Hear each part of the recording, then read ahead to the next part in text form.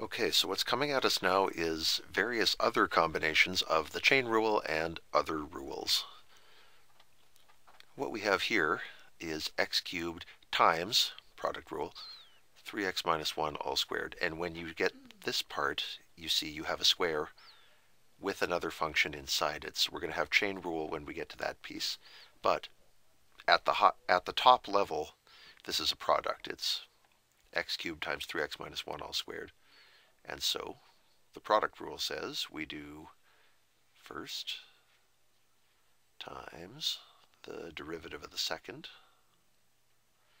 plus second piece times the derivative of the first piece.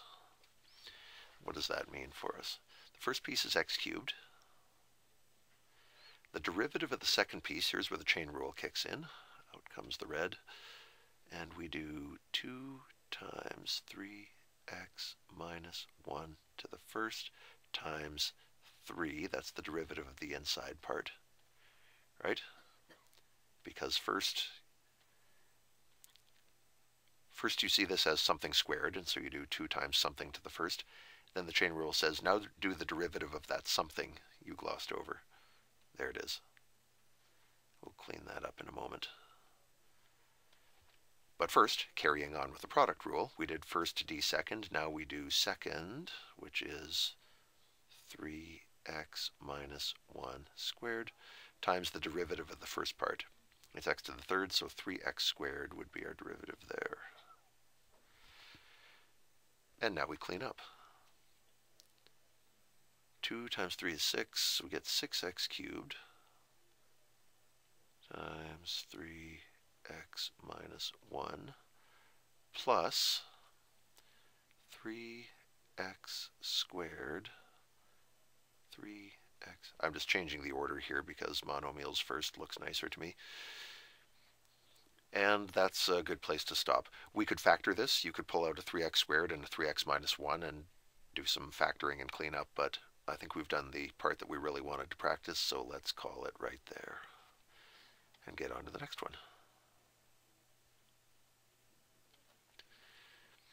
The next one is 5x to the 1 half. We need that power to be a number, so we can power rule it. And then we have 2x squared minus 3. Okay, so this is a quotient, of course, which means its derivative is going to be bottom. I'm not labeling this time. Let's see if it works bottom times derivative of the top. The top, this piece right here, requires chain rule. It's got two steps. The first step is power, 1 half 5x to the minus 1 half.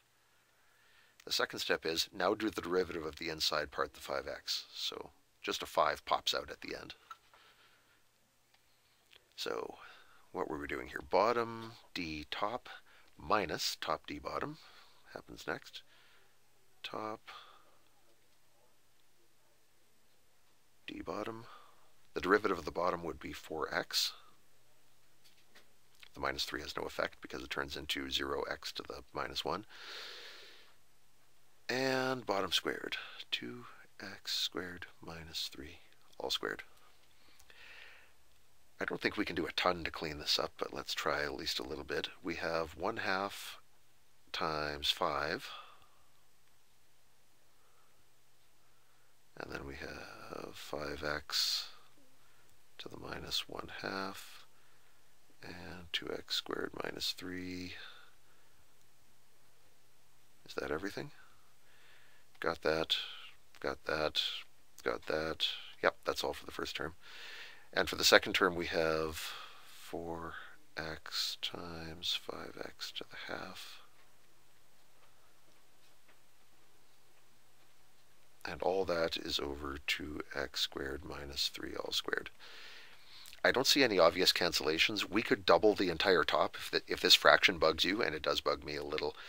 You could double all this, and then you'd end up with 5 and minus 8 and a 2 in the denominator. Just multiply the top and bottom by 2. But stopping here wouldn't be so bad either.